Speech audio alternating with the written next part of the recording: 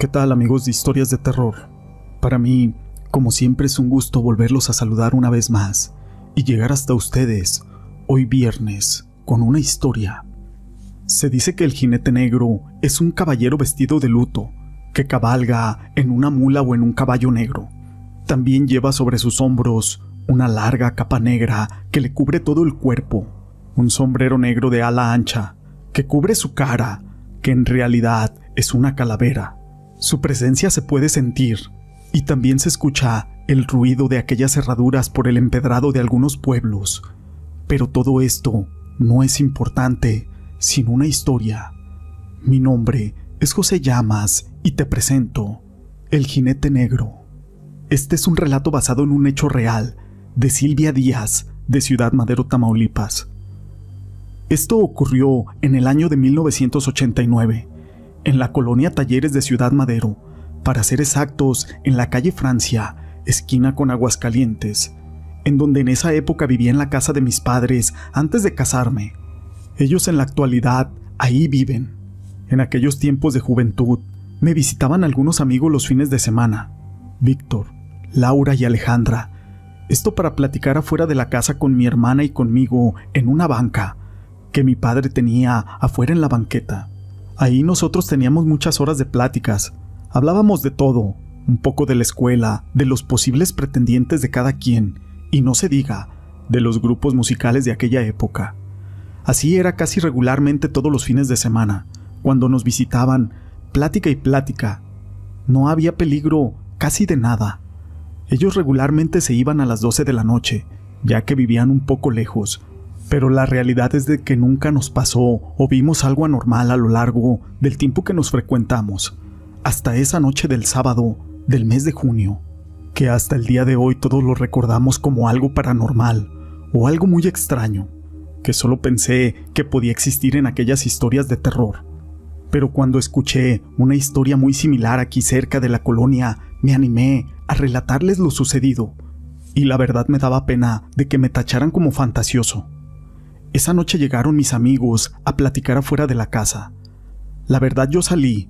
Eran como las nueve de la noche, pero sentía una sensación muy extraña. Solo pensé que era mi imaginación. Pero había un silencio aquí en la colonia, a pesar de que los sábados regularmente la gente sale afuera de sus casas para platicar, y nunca falta el vecino que tenga la música a todo volumen, o que se estén tomando algunas cervezas. Eran casi las 12 de la noche. Ya faltaba un poquito para que ellos se fueran. Recuerdo que miré el cielo y estaba negro, completamente negro.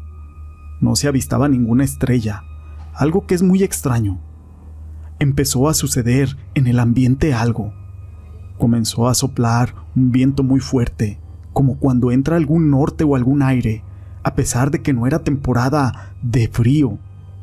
Hacía mucho calor ese día. Algunas hojas y basuras tiradas en la calle empezaron a recorrer por la misma, por el fuerte viento que se llevaba todo lo que se encontraba, y eso se me hacía muy extraño. Cuando vimos que por la calle Aguascalientes venía bajando de la calle Honduras una persona montada en un caballo negro, donde antes era una subida muy prolongada a como se encuentra en la actualidad. Lo miramos todos, pero nadie comentó nada. A todos se nos fue la voz. Nadie quería opinar. Entre mí pensé que era algún carretonero que dejó su carreta por alguna calle aledaña, pero este vestía todo de negro, con un gran sombrero de ala grande que no dejaba ver su rostro.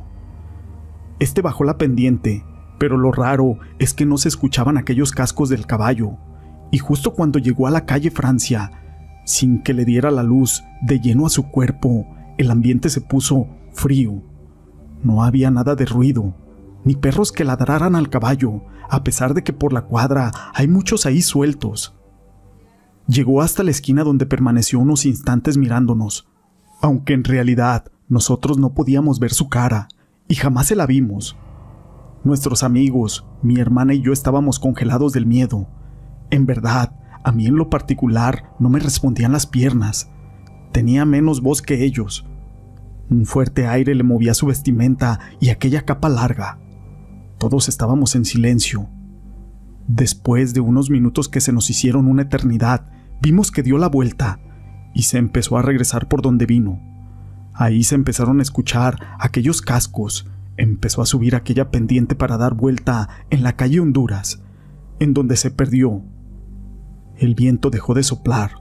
Fue entonces que los perros también comenzaron a aullar, pero desde adentro de las casas de los dueños, ellos tampoco querían salir a la calle.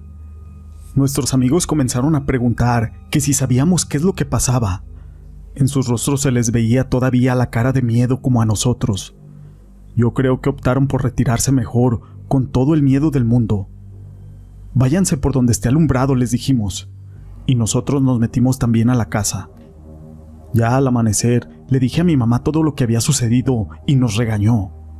Nos dijo que eso nos pasaba por quedarnos tan tarde afuera, porque en esa época para los padres estar fuera a las 12 de la noche era muy tarde.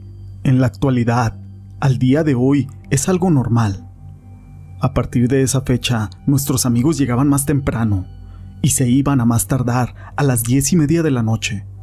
Fue una experiencia muy desagradable y hasta el día de hoy nos preguntamos quién era. ¿Sería aquel famoso demonio del jinete negro? Eso jamás lo podremos saber, ya que no pudimos verle el rostro. Gracias por leer mi relato. Esta historia la quise compartir con ustedes. Fue escrita por mi amigo, Eclipse Rey de los Mares, a quien le agradezco por compartirnos sus historias. Si te ha gustado, recuerda dejarnos tu pulgar arriba.